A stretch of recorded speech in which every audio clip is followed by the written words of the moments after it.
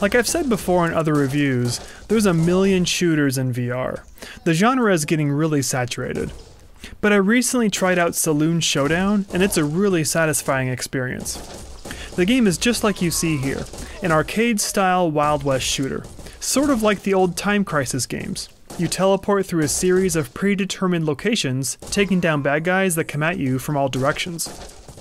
It's important to know that this game was just released on early access, so there's only one level, and there's more refinements to be made, but the core of the gameplay is really solid and fun to play.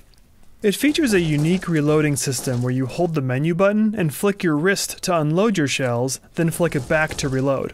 The reloading feels great in action. If you choose to play with two guns, you can select the easy reload system to make that a little easier. I'll definitely be keeping an eye on this game as it develops.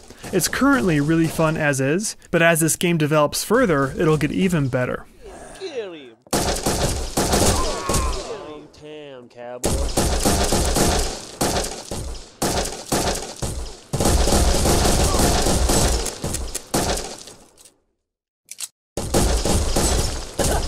Cowboy.